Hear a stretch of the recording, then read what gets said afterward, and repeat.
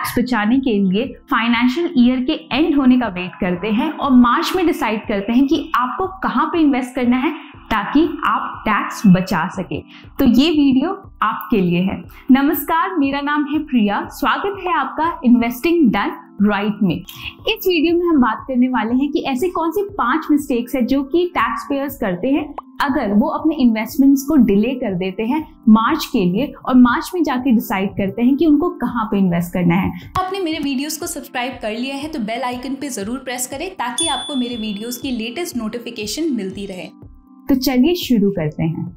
Mistake one है doing in March the financial year end जब हम मार्च के महीने में डिसाइड करते हैं कि हमें कहाँ पे इन्वेस्ट करना है तो उस समय में हमारे ऊपर टैक्स सेविंग का बहुत ज़्यादा प्रेशर होता है। जिस चक्कर में हम ऐसी जगहों पे इन्वेस्ट कर देते हैं, जहाँ पे हमें फ़ायदे की जगह पे नुकसान होता है। हम अपने एप्लीकेशन प्रोसेस में भी गलतियाँ करने लगते हैं। इनफैक्ट हम टैक्स सेविंग के लिए क्रेडिट कार्ड तक का यूज़ कर देते हैं। कितनी बार तो हम ज़रूरत से ज़्यादा इन्वेस्ट कर देते हैं टैक्स सेविंग इंस्ट्रूमेंट में। जैसे कि अगर आप सैलरीड इंडिविजुअल है और आपका प्रोविडेंट फंड कटता है तो शायद आपको पता होगा कि पीएफ एटीसी की कैटेगरी में आता है।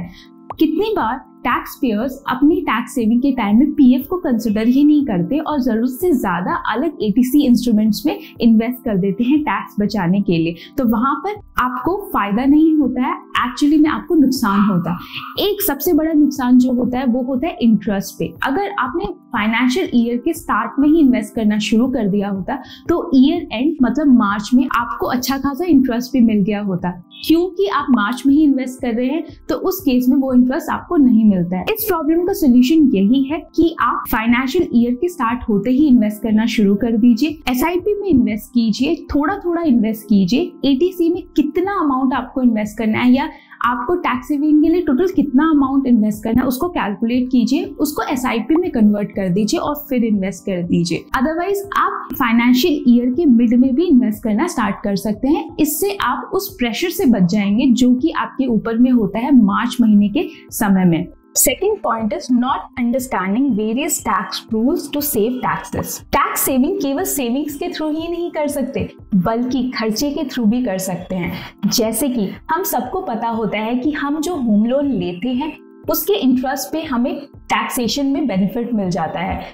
इस तरीके से बहुत अलग तरीके के स्पेंडिंग्स होते हैं जिस पे आप बेनिफिट उठा सकते हैं। जैसे कि अगर आपने अपने बच्चों के हाई एजुकेशन के लिए लोन लिया है तो उस लोन के इंटरेस्ट पे आप अप टू एट ईयर्स तक इंटरेस्ट पे डिडक्शन क्लेम कर सकते हैं। और सबसे मज़े की बात तो ये है कि वहाँ पे कोई कैपिंग नहीं होती है। इस तरीके से अगर आपने कहीं पे डोनेशंस की हैं तो वो उस डोनेशंस पे आपको बेनिफिट मिल जाता है। अगर आप फ्रीलांसर या बिजनेसमैन हैं, आपको एच के कॉम्पोनेंट नहीं है आपकी सैलरी में तो उस केस में एटी जी के अंडर में आपको टैक्स बेनिफिट मिल जाता है। अगर आपको किसी तरीके की डिसेबिलिटी है या क्रोनिक इलनेस है तो वहाँ पे भी आपको अच्छा खासा डिडक्शन क्लेम कर सकते हैं। हमें पता होना चाहिए कि स्पेंडिंग्स और सेविंग्स दोनों अलग अलग कैटेगरीज हैं। स्पेंडिंग करके आप कैसे टैक्स बेनिफिट कमा सकते हैं और सेविंग करके आप कैसे टैक्स बेनिफिट कमा सकते हैं। अगर आपको इसकी नॉलेज होगी तो आप ज़्यादा से ज़्यादा टैक्स बचा पाएँगे। Blindly picking tax saving products without evaluating liquidity India में इंडोमेंट प्लान बहुत ज़्यादा फ़ेमस है। ऐसे प्लान जहाँ पे लॉकिंग बहुत लंबे टाइम का होता है। बहुत तरीके के प्लान्स होते हैं जहाँ पे आप कंटिन्यूसली 15 20 इयर्स तक आप सेव करते हैं, फिर उसको पाँच दस साल और छोड़ते हैं मेच्योर होने के लिए। आप हर साल कुछ कुछ प्रीमियम्स पे करते हैं। लिक्विडिटी यहाँ पे बहुत लो होती है। सबसे मज़े की बात तो ये है कि यहाँ पे जो रेट ऑफ़ रिटर्न होता है, वो भी बहुत लो होता है। इतना कम होता है कि इन्फ्लेशन को भी वो हार्डली बीट कर पाते हैं। और इस टाइप के प्लान्स हम लोगों के बीच में बहुत ज़्यादा फ़ेमस है। रीज़न उसका ये होता है कि ये प्लान्स हमें एजेंट सेल करते हैं। उनका कमीशन बहुत अच्छा खासा होता है। कोई एजेंट आपको कमीशन के बारे में तो ऑब्वियसली नहीं बताएगा।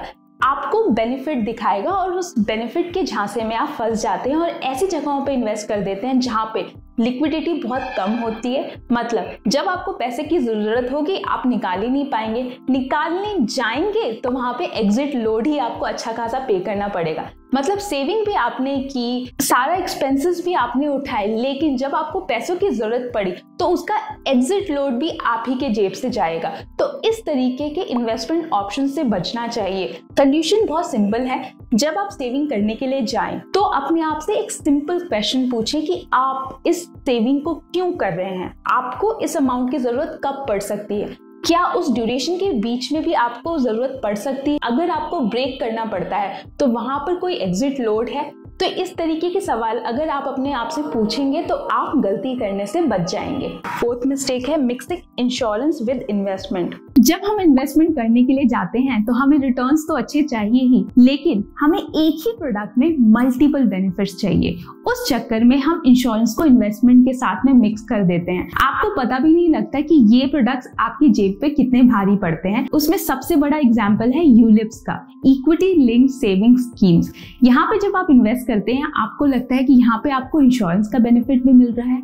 आपने जो सेव किया है, वो अमाउंट भी आपको थोड़े टाइम के बाद में पूरा मिल जाएगा। उसके ऊपर आपको रिटर्न्स भी मिलेंगे। तो इतने सारे बेनिफिट देखकर आप वो प्रोडक्ट्स खरीद लेते हैं, यही तो रीजन है कि यूलिप्स मार्केट में बहुत ज़्यादा सेल होते हैं। लेकिन बहुत ही कम लोगों को पता होता है कि यूलिप्स का जो रेट ऑफ़ रिटर्न होता है, वो बहुत ही कम होता है। इतना ही होता है कि वो इन्फ्लेशन को बीट कर पाते हैं। जिस अमाउंट से आप स्टार्ट कर सकते हैं, वो भी बहुत ज़्यादा हाई होता है। जिस इंश्योरेंस के नाम पर यूलिप्स आपको बेचे जाते हैं, वो कवर भी बहुत कम होता है। तो वो हार्डली आपकी फैमिली को कवर अप कर पाता है। इसके अलावा लिक्विडिटी भी बहुत कम होती है। अगर आपको किसी कारण से पैसा निकालना पड़े तो उस केस में एग्जिट लोड भी आप ही को पे करना पड़ता है। सोल्यूशन बहुत सिंपल है। जनरली जब आप यूलिप्स खरीदते हैं, एक एग्ज़ाम्पल से समझ लेते हैं। लेट्स से कोई यूलिप आपको मिला है, जहाँ पर आपको हर महीना दस हज़ार रुपए सेव करने हैं नेक्स्ट ट्वेल्व ईयर्स के लिए। यहाँ पे आपकी फैमिली को कवर मिल जाता है ट्वेल्व लाख का, अगर आपको कुछ हो जाता है। इसके अलावा आपको यहाँ पे प्रिंसिपल पे गारंटी मिल जाती है, लेकिन यहाँ पे रिटर्न बहुत कम होता है। तो इस टाइप के प्लान्स में इन्वेस्ट करने से बेटर है, आप उस दस हज़ार को इस तरीके से इन्वेस्ट कीजिए। उसमें से नौ हज़ार किसी म्यूचुअल फंड में इन्वेस्ट कर दीजिए, जैसे कि इंडेक्स फंड जो कि बहुत सेफ़ होते हैं। वहाँ पे आपको लॉन्गर ड्यूरेशन मतलब दस साल या उससे ऊपर में ट्वेल्व टू थर्टीन परसेंट का रिटर्न आराम से मिल जाएगा। और एक हज़ार रुपए जो बचे हैं, उसको टर्म इंश्योरेंस में इन्वेस्ट कर दीजिए, और उस एक हज़ार में आपको तकरीबन एक करोड़ तक का कवर मिल जाएगा। आपकी एज के हिसाब से कवर मिल जाएगा। तो ये एक अच्छा कॉम्बिनेशन हो सकता है। Instead of buying such insurance plus investment plan fifth point है अनेबल टू डाइवर्सिफाई इन्वेस्टमेंट जब हम इन्वेस्टमेंट करते हैं तो डाइवर्सिफिकेशन बहुत ज़्यादा एसेंशियल होता है। रिस्क और सिक्योरिटी दोनों को बैलेंस करना बहुत ज़्यादा ज़रूरी होता है। इसीलिए इक्विटी और डेट का कॉम्बिनेशन आपके एज फैक्टर पे डिपेंड करता है। जब हम इन्वेस्ट करते हैं तो लॉन्गर ड्यूरेशन में हमें रिटर्न्स में फोकस करना चाहिए। अगर आप शॉर्ट ड्यूरेशन के लिए इन्वेस्ट कर रहे हैं तो वहाँ पे सिक्योरिटी पे फोकस करना चाहिए। लेकिन सच्चाई तो ये है कि हम ऐसी जगहों पे इन्वेस्ट कर देते हैं जहाँ पर लिक्विडिटी बहुत कम होती है लॉन्गर ड्यूरेशन में रिटर्न्स बहुत ज़्यादा कम मिलते हैं, जो कि इन्फ्लेशन तक को बीट नहीं कर पाते हैं।